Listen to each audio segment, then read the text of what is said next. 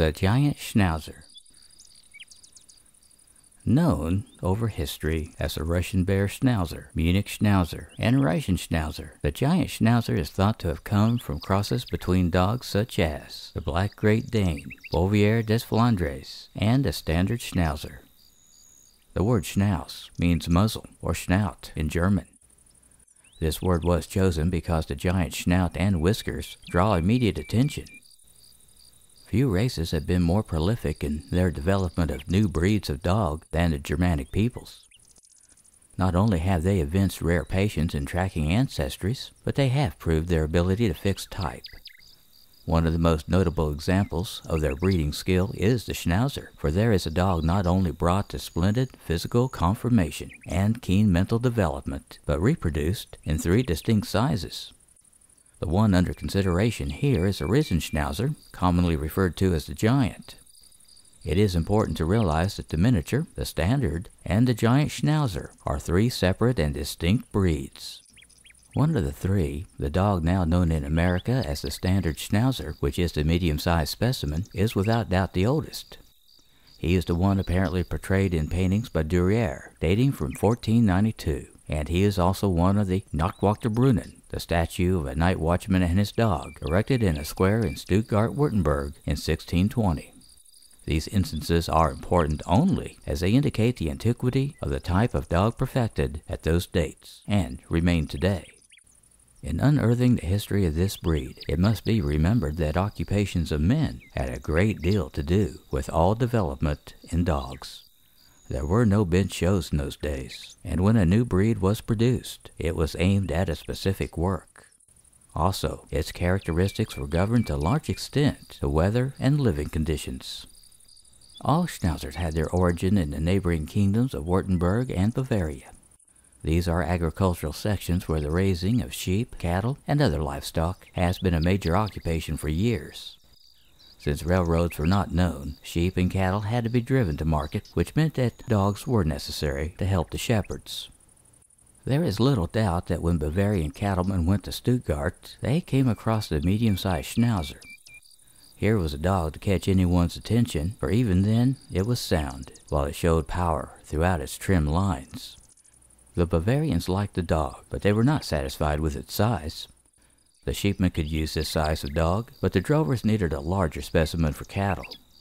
The first attempts to produce a drover's dog on terrier lines with a wiry coat were no doubt by crossings between the medium-sized schnauzer and some of the smooth-coated driving and dairymen's dogs then in existence. Later there were crossings with the rough-haired sheepdogs, and much later with the black Great Dane. There is also reason to believe that the giant Schnauzer is closely related to the Bouvier des Flandres, which was the driving dog of Flanders. The finished product produced an agile, deep-chested dog with a huge heart. That's what makes up a true working dog. Once seen, the giant Schnauzer is seldom forgotten. Its appearance speaks for itself. The giant has a history as a noble cattle dog and sheep drover. It is a protector that would risk its life for you. The giant Schnauzer was first used as a cattle driving dog in Bavaria, and then later as a guard dog, and by the police and military.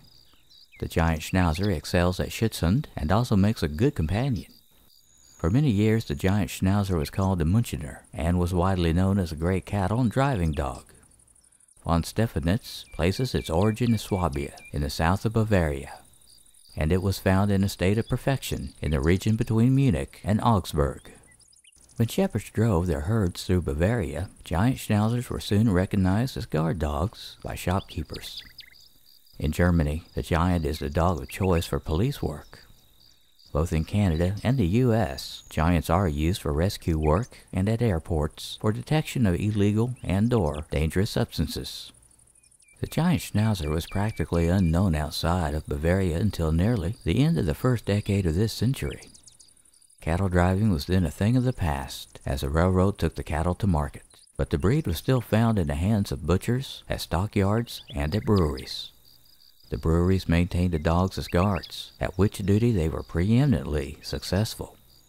Not until just before World War I, when their numbers were greatly decreased during the fighting, did the giant Schnauzer begin to come to nationwide attention in Germany as a suitable subject to receive police training at the schools in Berlin and other principal cities. He proved such an intelligent pupil that police work has been his main occupation since that time. His progress in this capacity in the United States has been very slow, making his appearance here at the time the German Shepherd was reaching its peak. The Bavarian dog has had little chance to make headway against such well established direct competition. The first giants were imported to the United States in the early 1920s, and by the 30s, some of the best German breeding stock was in the hands of Americans. Giants were used by the U.S. Army in World War II. Today, the giant, although rare in the US and Canada, is gaining in popularity. Description The giant schnauzer is a large, powerful, compact dog with bushy eyebrows, whiskers, and beard. He has a harsh, wiry outer coat and dense, soft undercoat. Ideally, the dog's height is the same as his length, resulting in a rather square impression. The strong arched neck should blend cleanly into the shoulders. The head is about half as long as the back from withers to tail attachment. The muzzle and top of the head should form parallel planes. The large nose is black. The dark brown eyes are medium-sized ovals. The teeth should meet in a scissors bite. The front legs are straight and parallel. Dew claws should be removed on the hind legs and may be removed on the front legs. The tail is generally docked to the second or third joint. Cropping the ears is optional. The coat comes in solid black or pepper and salt.